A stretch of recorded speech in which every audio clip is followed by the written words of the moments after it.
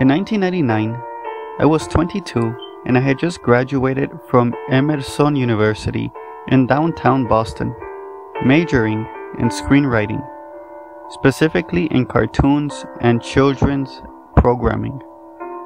My debit was pretty bad, so when Nickelodeon Studio offered me an internship at the studio in California, I accepted immediately. I jumped at the chance to get away from the dead end job at Benjamin Franklin Tour Guide. Many of you asked to see Crybaby Lane, but if you want to see the original Crybaby Lane, you never will, even if Nickelodeon somehow consents to release it to you. You won't be seeing what was shown on TV, and you sure as fuck won't be seeing the original that Louder made. I don't even think Nickelodeon has the original cut of the movie anymore. And if they do, it's only backup copies. If the backup copies exist, they must be locked away in some vault along with all the deleted episodes of Ren and Stimpy and the never before mentioned episodes of SpongeBob SquarePants. I'm pretty sure the director, Peter Lauer, has the original copy and it's probably on his mantle next to his snuff films. That's creepy as fuck. Anyways, I was hired in 1999 and immediately I was put on a creative production team for the movie Cry Baby Lane. It would be almost a year before the movie was due to be broadcast. All in all, it was a pretty low effort kind of thing. There were only four people on the creative team, and I was the only steady one. Louder would replace them on a whim. He said it was to keep it fresh. I thought it was because he was hiding something, and I was right. We had a little over a year to make a made for TV movie, not just to write it and cast it, but to film it and get it edited.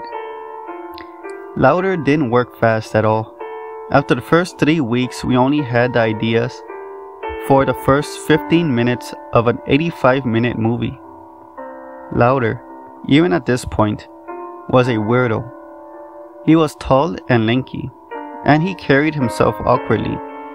He stuttered when he talked sometimes. When you were hunched over a piece of paper during the endless brainstorming sessions, you'd look up and you'd catch him staring at you, smiling. He looked away when you caught his eye, and I guess that was the creepiest part. He always looked like he had something to hide. The brainstorm sessions at first were alright. We got the premise of it down pat. Two brothers unleash a demon and they get into mischief trying to get everything back to normal. Not exactly daytime Emmy stuff, but you know, it was an alright start. I thought the movie should be goofy and spooky, kind of like Courage the Cowardly Dog sort of deal. However, from the very beginning, Lauder made it clear that he wanted the film to be as scary as possible. He didn't want it to be cheap thrills with a good, wholesome ending. He wanted to push it further than Are You Afraid of the Dark ever dreamed of. And I guess he did. It was about three weeks into production when I first noticed something. Louder had the absolute power of persuasion over everyone else in the creative production team. No one fought him, and by the third week, he was already suggesting some morbid things. I remember he said he wanted the little brother to die halfway through the movie, getting hit with a dump truck. I immediately shot it down. I was the only one who said anything. And I stayed that way until I left the studio entirely and never came back. At first, cannibalism and other fucked up shit was kept to jokes and tasteless comments, but as time went on, it became more and more overt. I'd give him an idea, which most of the time he would end up using, like, how about the movie starts with a morbid undertaker who reads them stories. To which he'd reply, Yeah, and then he can cut them up into little pieces and force feed them to his dogs. He made these jokes a few times in the early stages. Then he got serious. He'd stand up like he was Jesus or something, clear his throat loudly, and proclaim his idea. I'd be the only one to shut it down. Every fucking time. One day near the end of our brainstorming sessions, Louder cleared his voice and stood up. We all fell silent and looked at him like we normally would. He stood up and said, Gentlemen and females, I have an idea. I remember what he did. He paused and looked right at me as he said, The story will revolve around the legend of a pair of Siamese twins. Have you ever heard of the Donner Party? Everyone nodded, except for me, I didn't like where the conversation was going. They ate themselves when it got cold. They ate each other. Everyone nodded again. I closed my eyes. What would Siamese twins do if they had nothing to eat? Would one wait until the other twin dies, then consumes her own sister's flesh? Would they claw out each other's eyes until one of them dies, then dine upon them like a vulture tearing at the skin of a dead deer? I do not know. It is interesting, indeed. I didn't know what the fuck I was hearing. I opened my eyes and looked around the room. No one was fucking moving. Everyone's eyes were on louder, except for mine, and when I looked at him, he was still staring at me. Children like violence. They revel in it. Children like to be scared. So we'll scare them. Won't we, Johnny? He leaned over the table, getting pretty damn close to my face. His breath smelled like decaying shit. I stared back at him. I think you're fucked up, to be honest. He smiled, then backed away. Oh, I'm fucked up, all right. But you had to be fucked up to survive in this cutthroat world. His grin expanded. Literally. Right now, I'm going to show you some pictures that will spark some of your imaginations. He got up and locked the door from the inside. I stood up and said, What the fuck are you doing? Let's not make any errors in judgment, Jonathan. Sit down. No. Sit. For some reason, I did. Louder pulled out one of those shitty overhead projectors. He turned on the switch, and he speak shouted in a unusually high and semi-fanatic voice. This is the fucking muse we need to continue with this pro-fucking-duction. This is what every child should see. His eyes bulged in his head. He put the image down on the glass surface of the overhead. It was silent. The image was in black and white, but it was grainy.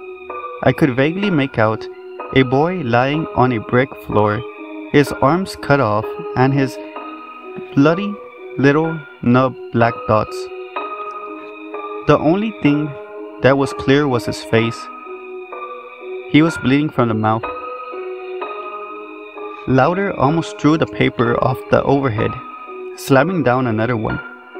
It was a zoomed in shot of the boy's face. It was in color. The blood trickled from his open mouth onto the brick floor.